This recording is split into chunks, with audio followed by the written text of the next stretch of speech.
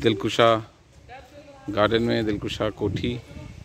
यहाँ पे ब्रिटिशर्स के ज़माने की बहुत सारी चीज़ें हमने देखी।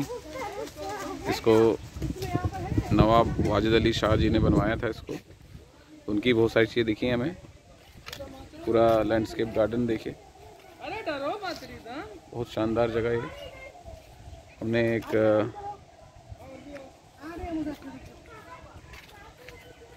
बड़ा सा महल देखा पुरानी कोठी, और एक वो कोठी है, एक ये कोठी है। बहुत एंशंट टाइम की लग रही है, और एएसआई द्वारा संरक्षित ये जगह है। और एक आध इसमें हमको कब्र भी दिखी है, जो कि अंग्रेज़ों के ज़माने की हैं 1957 के टाइम की।